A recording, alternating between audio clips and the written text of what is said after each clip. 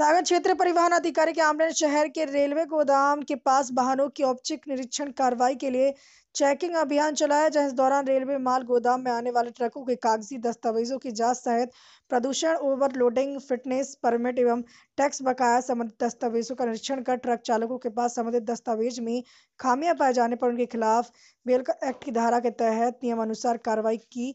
इस दौरान एकाएक रेलवे माल गोदाम के पास आरटीओ द्वारा हुई औचक निरीक्षण कार्रवाई को लेकर वाहन चालकों में अफरा तफरी मची रही। कार्रवाई के दौरान टीम ने एक ट्रक को जब्त किया, जिस पर तकरीबन एक लाख छियासठ हज़ार रुपए का टैक्स बकाया पाया गया, जिसके संबंध में वाहन मालिक को सूचना दी गई। ना तो वह मौके पर पहुँचे, ना ड्राइवर, जिसके बाद टीम ने उसे कैन की सहायता से जब्त कर उठा लिया। तो वहीं मौके पर चार अन्य वाहनों पर कार्रवाई की।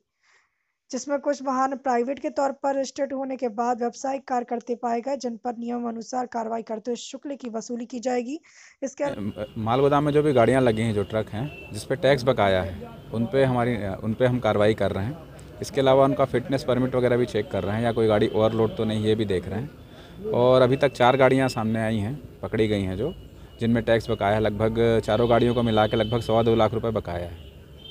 सर इन, क्या कार्रवाई की जाए किस तरह इन गाड़ियों को हम जब्त कर रहे हैं और एक गाड़ी जिसपे एक लाख छियासठ हज़ार रुपये बकाया है जो ग्रीन कलर की उसका मालिक आ आ नहीं रहा है ड्राइवर को भी यहाँ से भगा दिया गया है तो हम उस गाड़ी को क्रेन से उठवा रहे हैं यहाँ से। प्रकाश यार्ड पे कार्रवाई हुई थी। प्रकाश यार्ड में बहुत सारे फाइनेंसर अपनी गाड़ियाँ जब्त करके खड़ी किए हुए थे वहाँ पे तो उस पर शासन का भी कर बकाया था। तो उन गाड़ियों को हमने जब्त कर लिया है उस यार्ड को सीज़ कर दिया है और लगभग आठ से दस लाख रुपए जो है राजस्व बकाया था उनके ऊपर। तो जब वो जमा हो जाएगा तभी उन गाड़ियों को छोड़ेंगे। कितनी लगभग एक एक सौ पाँच गाड़ियाँ हैं वहाँ पर